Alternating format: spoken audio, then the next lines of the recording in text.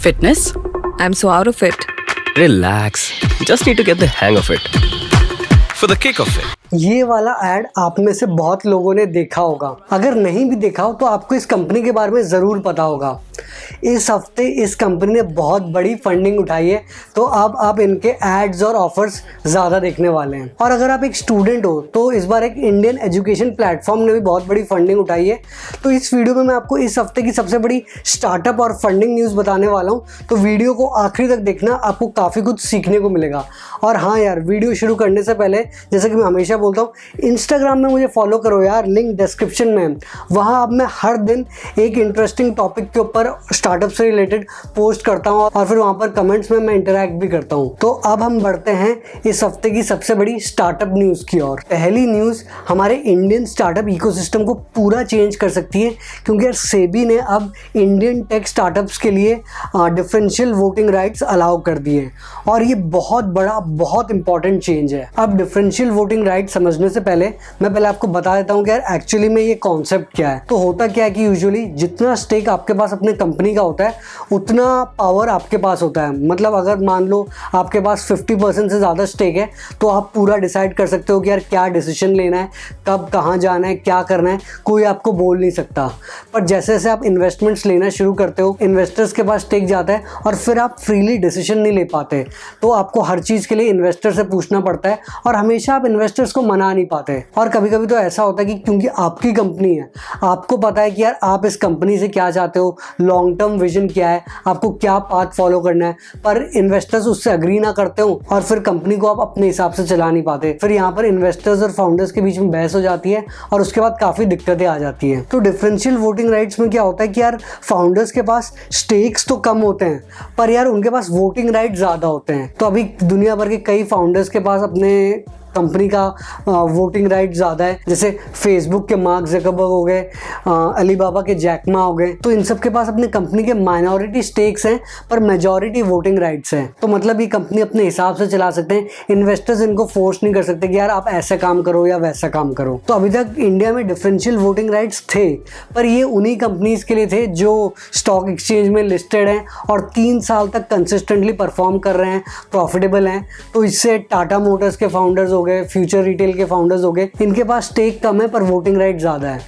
पर सबसे ज़्यादा वोटिंग राइट्स तो यार स्टार्टअप्स को चाहिए होते ना स्पेशली टेक स्टार्टअप्स क्योंकि यार ये प्रॉफिटेबल तो होते नहीं है प्लस ये बहुत ज़्यादा फंडिंग उठाते हैं तो फाउंडर्स के पास बहुत कम स्टेक बचता है तो इसीलिए वोटिंग राइट्स इनके पास होना बहुत ज़रूरी है। और ये one of the major reason था कि यार कई इंडियन स्टार्टअप्स बाहर रजिस्टर किए जाते थे, जहाँ पर ये डिफरेंशियल वोटिंग राइट्स अलाउ होता था। इंडिया में ओला के फाउंडर भावेश अग्रवाल फ्लिपकार्ट के फाउंडर सचिन बंसल और बिनी बंसल और मेक माई ट्रिप के फाउंडर दीप कालरा ये सब काफ़ी टाइम से बोल रहे थे कि यार ऐसे डिफरेंशियल वोटिंग राइट्स होना है तो अब फाइनली सेबी ने मान लिया है कि जो टेक स्टार्टअप्स हैं, वो अपने कंपनी में ये डिफरेंशियल वोटिंग राइट्स कर सकते हैं। तो इससे मुझे लगता है कि यार हमारे स्टार्टअप इकोसिस्टम को काफ़ी ज़्यादा बूस्ट मिलने वाला है और कई फाउंडर्स जो पहले बाहर रजिस्टर करवाते थे कंपनी वो अब इंडिया में रजिस्टर करवाएँगे। आपको क्या लगता है कि क्या हमारे स्टार्टअप इकोसिस्टम को फ़ायदा होगा इस रूल से? कमेंट्स में बताना। दूसरी इंपॉर्टेंट स्टार्टअप न्यूज़ ये है कि यार अरविंद केजरीवाल ने इस हफ़्ते बोला है कि यार जो दिल्ली के स्कूल्स हैं, जो दिल्ली गवर्नमेंट रन करती है उसमें जो क्लास नाइन्थ से क्लास ट्वेल्थ के बच्चे हैं, उनको हर दिन 40 मिनट का एक ऑन्टरप्रनरशिप का क्लास होगा। ये एक नॉन ग्रेडेड कोर्स होने वाला है और इसमें जो बेसिक्स हैं कि यार कि कैसे आपको आइडिया जनरेट करना होता है, जब आप फेल होते हो तो कैसे कम करना है कोलेब्रेशन कैसे करना है, सारे ऑन्टरप्रनरशिप से रिलेटेड चीज़ें पढ़ाए जाएँगे प्लस हर एक बच्चे को हज़ार रुपये दिए जाएँगे, जिसमें वो अपने आइडिया पे काम कर सकते हैं। इसके बारे में मैंने दो तीन दिन पहले इंस्टाग्राम पे पोस्ट कर ही दिया था और वहाँ पर आप सबका काफ़ी अच्छा रिस्पॉन्स आया। है सबने सपोर्ट किया है और मुझे भी लगता है कि यार वैसे तो आप ऑन्टरप्रनरशिप पढ़ा नहीं सकते, पर अगर बचपन से आपको ऑन्टरप्रनरशिप का बेसिक्स पता चल जाएगा, आपको भी लगेगा कि हाँ यार, मैं आगे जाके जॉब करने की वजह क्यों ना मैं जॉब क्रिएटर बनूँ, क्यों ना मैं अपना खुद का बिज़नेस खोलूँ। तो ये जो नॉलेज होगा, उसमें कुछ स्टूडेंट्स क्यूरियस होंगे और क्या पता कुछ बच्चे आगे जाके सही में ऑन्टरप्रनर्स बन जाएँ। तो आप देखते हैं कि यार ये कोर्स कितना सक्सेसफुल होगा और आपको क्या लगता है कि यार क्या ये कोर्स इंडिया भर में पढ़ाना चाहिए?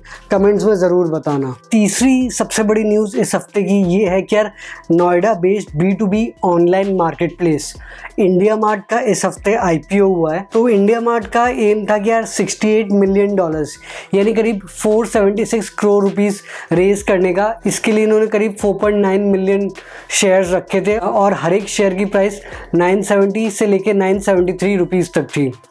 पर इंपॉर्टेंट बात यह है कि यार, इस आईपीओ को 36 टाइम्स ओवर सब्सक्राइब किया है। और ये one of the biggest IPO है कोई इंडियन इंटरनेट कंपनी का। तो इंडिया मार्ट की शुरुआत 1996 में हुई थी और उनका मेन एम है कि जो छोटे छोटे बिजनेसेस हैं, वो एक दूसरे के साथ ऑनलाइन कनेक्ट कर पाए, ताकि यार एक बिज़नेस दूसरे बिज़नेस को बेच पाए। तो अभी तो यार ये मार्केट काफ़ी ज़्यादा कॉम्पिटेटिव हो गया है, पर ये सेगमेंट बहुत तेज़ी से ग्रो कर रहा है। तो देखना पड़ेगा कि यार आईपीओ के बाद अब इंडिया मार्ट कैसे एक्सपैंड करता है, कैसे ग्रो करता है। तो अब बढ़ते हैं फंडिंग फंडिंग न्यूज़ की ओर। पहली और सबसे बड़ी फंडिंग न्यूज़ ये है, और जिसका एड आपने शुरुआत में देखा था कि फिटनेस स्टार्टअप क्योरफिट ने 120 मिलियन डॉलर्स रेज किए हैं अपने सीरीज़ डी राउंड में। तो क्योरफिट की शुरुआत 2016 में फ्लिपकार्ट के एग्जीक्यूटिव अंकित नगोरी और मिंत्रा के को मुकेश बंसल ने करी थी। और जैसे कि आप जानते हैं कि क्योरफिट बहुत तेज़ी से एक्सपैंड कर रहा है। हेल्थ सेगमेंट में वो डिफरेंट डिफरेंट वर्टिकल्स खोल रहा है, जैसे फ़िज़िकल फिटनेस के लिए कल्ट फिट मेंटल फिटनेस के लिए माइंड फिट न्यूट्रिशन के लिए ईट फिट और अभी प्राइमरी हेल्थ केयर के लिए तो इसके लिए क्योर फिट काफ़ी सारे स्टार्टअप्स को अक्वायर भी कर रहा है और ऋतिक रोशन भी एक इन्वेस्टर है क्योर फिट में। तो अब देखते हैं कि यार कौन से नए वर्टिकल में क्योर फिट एक्सपैंड करता है, पर यार इतनी बड़ी फंडिंग उठाई है तो इसका मतलब पूरा पैन इंडिया वो बहुत तेज़ी से एक्सपैंड करने वाले हैं और जो उनके कल डॉट फिट है और जो ईट डॉट फिट है, इनके जो सब्सक्रिप्शन प्लान है, उसमें भी काफ़ी ज़्यादा प्रमोशन आएँगे, काफ़ी ज़्यादा ऑफर्स आएँगे।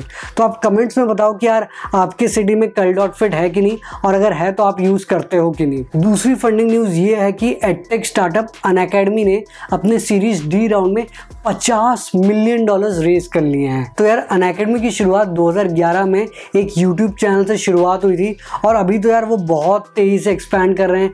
डिफरेंट डिफरेंट एग्ज़ाम जैसे यूपीएससी हो गया नीट हो गया जेई हो गया, और भी कई सारे कॉम्पिटेटिव एग्ज़ाम्स के ऊपर इनके कोर्सेज अवेलेबल हैं। अगर आप चाहते हैं कि यार मैं एक डिटेल में केस स्टडी बनाऊँ कि कैसे एक यूट्यूब चैनल से अभी Unacademy hundreds of millions of dollars का एक स्टार्टअप बन गया तो नीचे कमेंट करना और मैं एक डिटेल में केस स्टडी बनाऊँगा। तो अभी अन के प्लेटफॉर्म में करीब 400 एजुकेटर्स हैं और उनका पेड प्लान भी है अन प्लस जो कि धीरे धीरे काफ़ी पॉपुलर होते जा रहा है। तो उसमें हर दिन लाइव क्लासेस होते हैं। अभी कुछ महीनों पहले टीयर टू और टीयर थ्री सिटीज़ में एक्सपैंड करने के लिए उन्होंने education based YouTube channel Wifistudy को भी खरीद लिया था अनडिस्क्लोज अमाउंट में। तो अभी यार एडटेक सेक्टर काफ़ी तेज़ी से ग्रो कर रहा है और इसमें मार्केट लीडर है बाइजूस जिन्होंने रिसेंटली 25 मिलियन डॉलर्स की फंडिंग उठाई थी।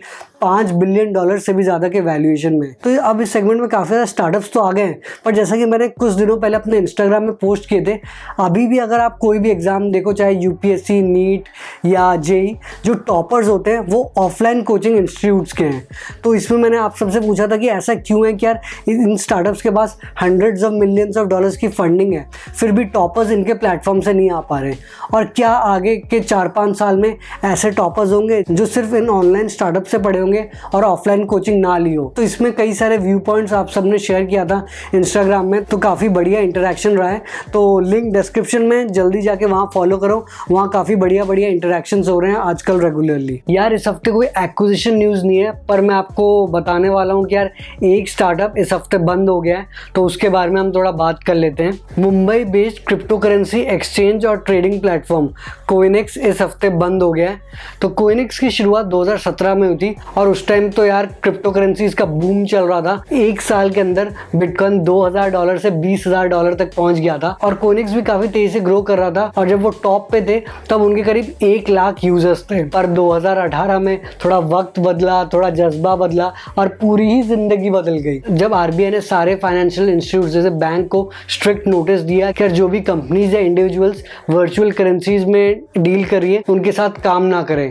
और इसके बाद तो यार डाउनफॉल शुरू होने लगा। दुनिया भर में भी क्रिप्टो करेंसीज का बबल बर्स्ट हो गया और प्राइस काफ़ी ज़्यादा गिरने लगा और इंडिया में तो यार सही में हालत खराब हो गई। धीरे धीरे कई सारे एक्सचेंजेस जैसे जेपे बंद होने लगे। पर तब भी कोरिक्स को लग रहा था कि शायद गवर्नमेंट रूल चेंज कर दे, पर गवर्नमेंट ने अभी तक कोई डिसीज़न नहीं लिया और कॉस्ट बढ़ते गए तो कोइनिक्स ने फाइनली डिसीज़न लिया कि यार उनको बंद करना पड़ेगा, अब वो सस्टेन नहीं कर पाएँगे। तो उन्होंने बोला, यार, जिन भी यूज़र्स का उनके प्लेटफॉर्म पे क्रिप्टो करेंसी बैलेंस था, वो रिफंड करने की कोशिश करेंगे। अब होपफुली कोइनिक्स सबको आपको रिफंड कर देगी और देखते हैं कि यार आगे क्रिप्टो करेंसीज में क्या होता है। अभी पिछले वीक फेसबुक ने अपना क्रिप्टो करेंसी लिब्रा लॉन्च किया है। अभी टाइम ही बताएगा कि यार क्या होने वाला है क्रिप्टो करेंसी फ़ील्ड में।